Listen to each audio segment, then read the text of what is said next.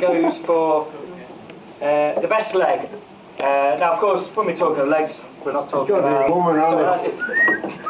Less about Philip John. This is what drives this, this league into the ground. But in all seriousness, it's for the swiftest leg of this season. Previous year was won by Danny Wright with something like 17 darts, which is a tremendous feat. Really super ahead there. this year it goes to our erstwhile cricket chairman and three-time champion of L17, Stuart Lomas.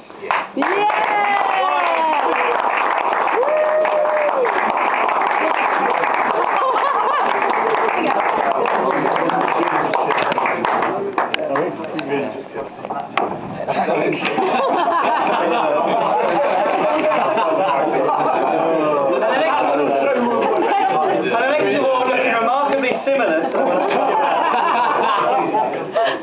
is for the highest outshot. We've had in previous years the likes of Robin Brown. Hello. nice to see him back from a recent trip to Beirut. Uh, this year was one with three of the most extraordinary darts I've never seen. I was stood down there watching out of the window as Pama Singh ran majestically after a rabbit.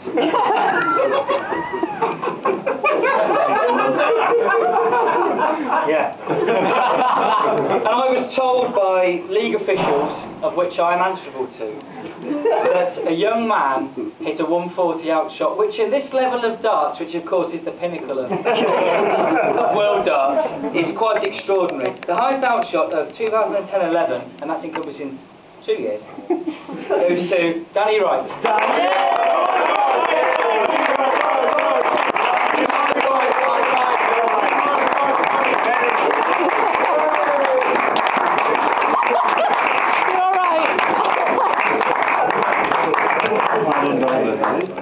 The next trophy, the next trophy behind that one. Um, this trophy is one which is probably behind winning the second Super League, one which would be held uh, most dearly to anyone. A former player of ours, best of order, who uh, passed away just after winning this trophy actually, Robbie Lindo. So since then we've named the, uh, the trophy on his behalf for the person who scores the most with, uh, with three darts.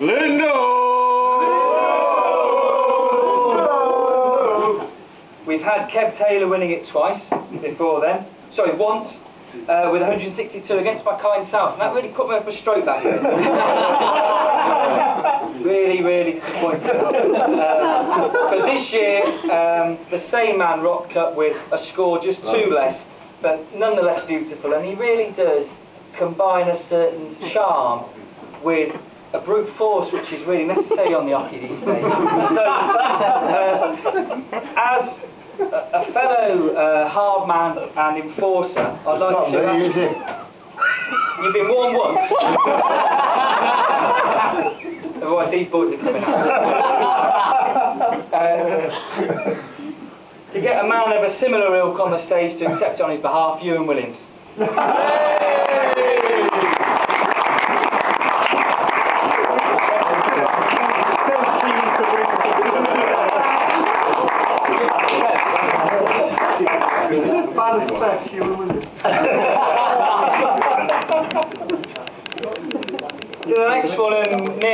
near enough the pinnacle, if not, not quite there really. Um, the second play division competed in with people who have IQs of less than 30, myself included. Um, this year was very keenly contested uh, between a medley of retards, maybe. Uh, no, sorry, Steve.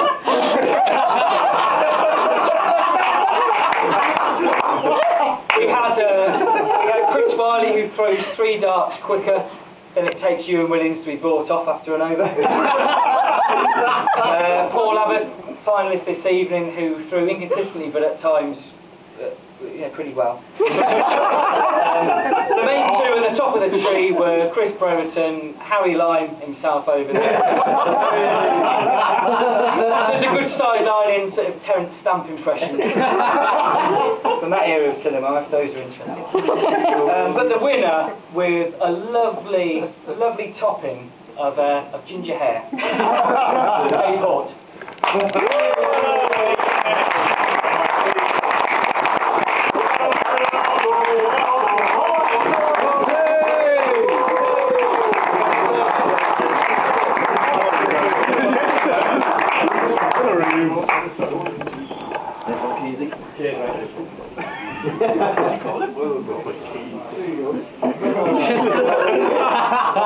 Winning the, the top of the table trophy means nothing because all it does is entitle you to promotion to a competition which, to my mind, has been devalued by the dominance of a particular man who should have moved on to the Mughal League years ago. Never mind. This, this uh, lovely plate here, which I once looked at when I was in the final and uh, I completely ignored and lost, goes to the youngest ever man to appear in any form of Sefton darts. Someone who has, and this is where the laugh probably stops, um, someone who has an ability for darts which, for his age, is quite extraordinary, and I'd imagine that within a couple of years we'll be seeing him taking on the current champion for his trophy. This goes to Chris Smart.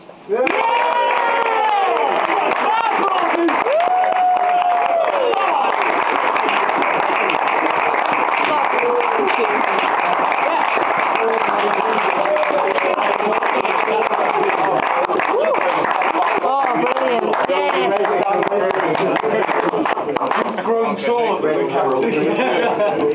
And to the Super League, the uh, money-driven, AIDS-obsessed bastard it is. I'm joking, of course. Um, the battle for the top of the table trophy was a lot more keenly contested than some thought it would be this year. We'd had a competition where everyone in it had won games into the at some sort of level uh, in previous years. Uh, no one let themselves down, even at the bottom of the table. Kev Taylor and John Northcroft, who both got relegated, pitted themselves admirably against some of the better players in the tournament. Uh, John, for example, gave some really sterling performances when backed by, admittedly, a fairly partisan crowd, especially on this side here, um, and left the league with no disgrace. So they'll be, they'll, they'll be welcomed in the uh, slummy league next year. um, just above them, immediately above them, someone who did leave the league with some, who should have left the league with some actually, um, Williams. A former finalist who's decided that darts isn't for him.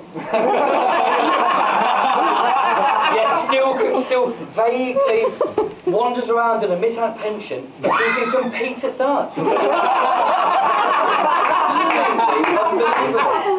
Um, for it's worth, he, he's a nice guy and, and, he, and he's here tonight, which is nice to see because we haven't seen him for six or seven years. and, it is nice, and it is nice to see him. But, um, but in all seriousness, we hope you get well soon, Jan. Further up the table, we have the likes of Jim Tyson, the gentleman. Good scorer tonight as well.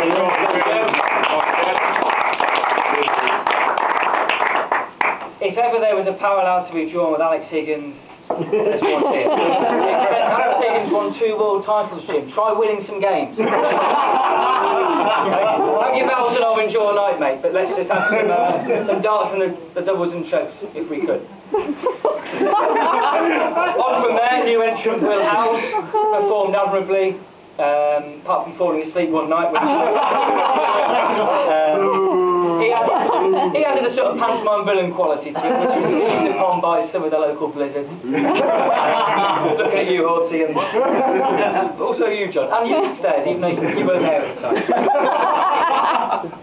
Stu Lunt was a, uh, a gentleman and a scholar. We, we spoke for minutes and minutes about the editorial and the Times of that day, despite having not read it. Being committed Guardian readers, but that's our wishy-washy uh, status for you. Uh, but the big two at the top, um, that we, we need to look at tonight.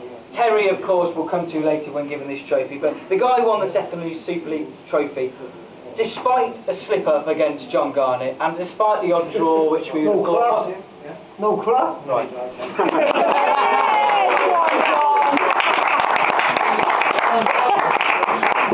See you coming forward again. Best of order for you as well, Bowman. but this, this man, uh, despite some blips, I think it shows a real strength of character and a strength of his ability at the sport.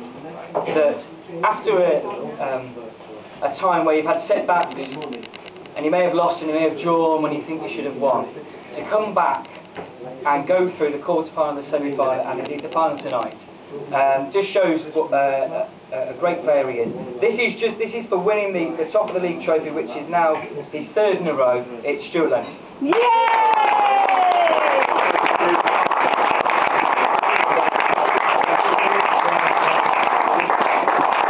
And he also gets The heaviest in the world. which if you wanted to replicate, um, who was the woman who knocked out uh, Dirty Den the second time he was back in EastEnders? She killed him with a uh, duster. Oh, Angie. And uh, Angie the first time. Christine Oh, Christy, yeah. Stu wins them both. Good night, God bless. Well,